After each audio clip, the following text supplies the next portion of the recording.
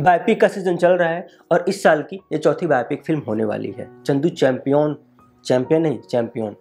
पहली फ़िल्म थी इस साल की ए वतन, मेरे वतन, जो कि सारा अली खान ने जिसको लीड किया था, उषा भारती की बायोपिक, जो कि अमेजन प्राइम वीडियो पर अवेलेबल है, आप देख सकते हैं। वहीं दूसरी फ़िल्म थी मैदान, जिसको लीड किया था अजय देवगन ने शरद अब्दुल रहम के, की बायोपिक।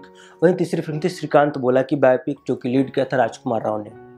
ये चौथी फ़िल्म जो है, चंदू चैंपियन, ये इसको लीड कर रहे हैं कार्तिक आर्यन।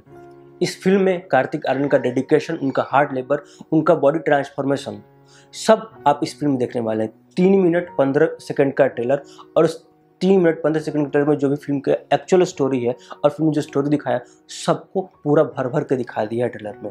मतलब बिल्कुल कोई भी पार्ट को एक्चुअल जो पार्ट स्टोरी है मुरलीकांत पेटकर की। उसमें से जो भी बेस्ट पार्ट था, सबको इस फ़िल्म में शामिल किया है।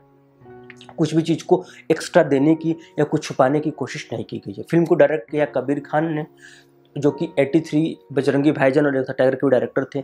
और फ़िल्म को प्रोड्यूस प्रोड्यूस किया है साजिद नाडेड वाला और कबीर खान ने। जब ये दोनों हों और म्यूज़िक जब प्रीतम का हो जाए तो फिर क्या ही काटना। और सबसे बड़ी बात फ़िल्म में जो डेडिकेशन है, फ़िल्म का में जो कंट्रीब्यूशन है, जो कार्तिक आर्यन का उन्होंने कमाल का एक्टिंग किया है। ये एक उनकी पहली फ़िल्म ऐसी है, जो एक सीरियस कैरेक्टर को प्ले कर रहे हैं और उसमें एक रत्ती भर भी उन्होंने कोई कमी या कोई कसर नहीं छोड़ी है। और बहुत ज़्यादा इस फ़िल्म में वो मोटिवेटेड दिख रहे हैं और बहुत ज़्यादा अपने आप को बिल्कुल इस रोल में ढाला हुआ है।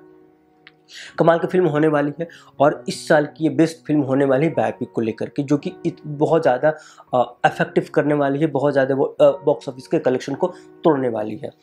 फ़िल्म की एक्चुअल स्टोरी होने वाली है मुरलीकांत पेटकर। फ़िल्म की स्टोरी होने वाली है, फ़िल्म की स्टोरी बेस्ड है मुरलीकांत पेटकर की। मुरलीकांत पेटकर उन्नीस सौ चालीस में पैदा हुआ एक इंसान जो कि एक आर्मी ऑफिसर ही नहीं था।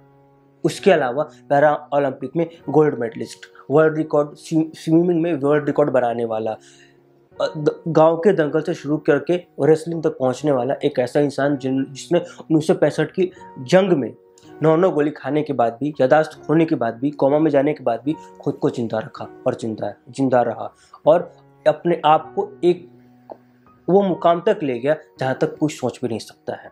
2018 में मुरलीकांत पेटकर को पद्मश्री का भी अवार्ड भी मिला हुआ था। तो उनके जो पूरा स्ट्रगल से लेकर के सक्सेसफुल का जो लाइफ है पूरा, वो सब आप इस फ़िल्म में देखने वाले हैं। हालाँकि ढाई घंटे, तीन घंटे की फ़िल्म में पूरे एक लाइफ को दिखाना थोड़ा मुश्किल काम होगा, पर यह फ़िल्म बहुत ज़्यादा इन्फॉर्मेटिव और बहुत ज़्यादा इन्फॉर्मेशन देने वाली हो सकती है। बिल्कुल आपको देखना चाहिए फ़िल्म को थिएटर्स में रिलीज़ होने वाली है और फ़िलहाल अभी इस फ़िल्म का ट्रेलर रिलीज़ हो चुका है। बिल्कुल देखकर कमेंट में बताइए कैसा लगा आपको इस फ़िल्म का ट्रेलर। इस साल की कमाल की बायोपिक फ़िल्म होने वाली है, जो आपको देखना चाहिए, बिल्कुल देखना चाहिए और ये फ़िल्म की जो स्टोरी होने वाली है, बिल्कुल आपको मोटिवेट करने वाली है, आपको बिल्कुल इंस्पिरेट करने वाली है कि आपको पीछे नहीं हटना है।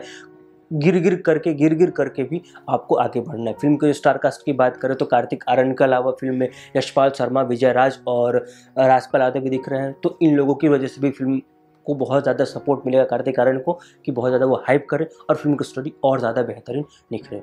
फ़िल्म की स्टोरी भी कमाल की होगी ही होगी, इसमें कोई डाउट नहीं है।